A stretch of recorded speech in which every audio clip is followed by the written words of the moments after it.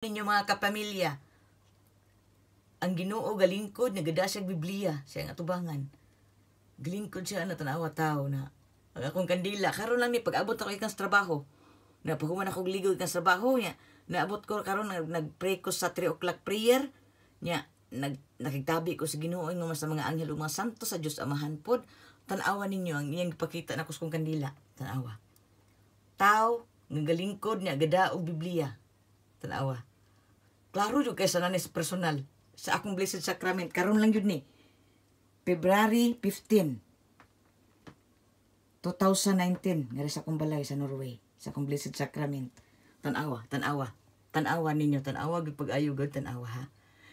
Tao nga galingkod nga nga gabaro nga galingkod nga gaday sa Biblia tan-awa kasapwang na na na ah, Lord, thank you, Lord. Naman gud imong Espiritu Santo kanunay, Lord, nagauban ka namo.